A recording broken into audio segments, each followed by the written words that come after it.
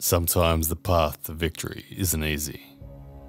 Sometimes the path to victory requires blood, sweat, and sacrifice.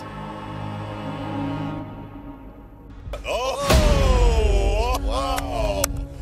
Ladies and gentlemen, did you see that? Slams, holds onto the thumb, and rips him across the table. Wow! incredibly strong. Look at that. He catches he catches the hit. He's well-rounded and very experienced. Let's see what he can do against the powerhouse.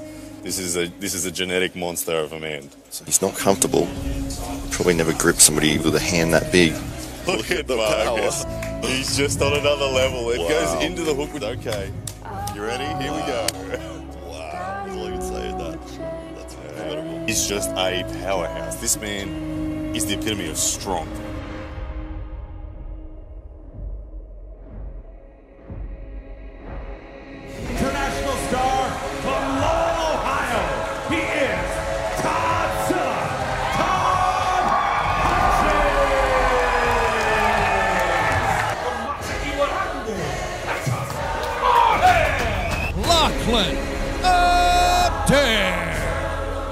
Jordan Sill.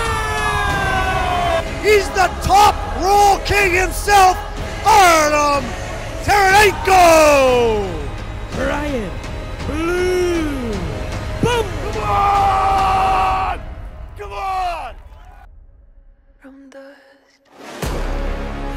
Todd Hutchings takes on Maatiewarangi Heta Morris. Lachlan Adair faces Jordan Sill. Artem Taranenko up against Ryan Bowen.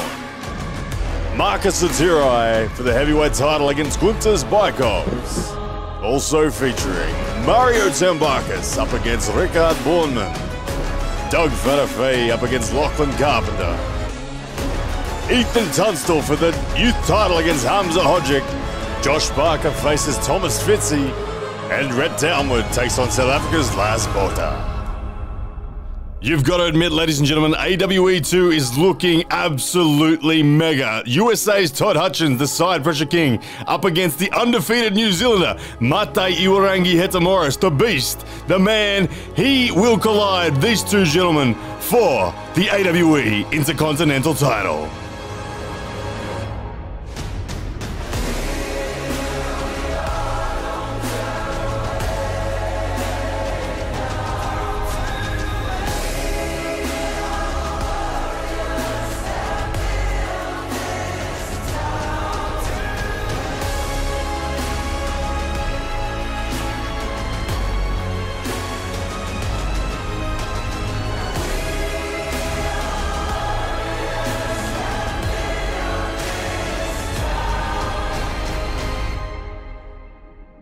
The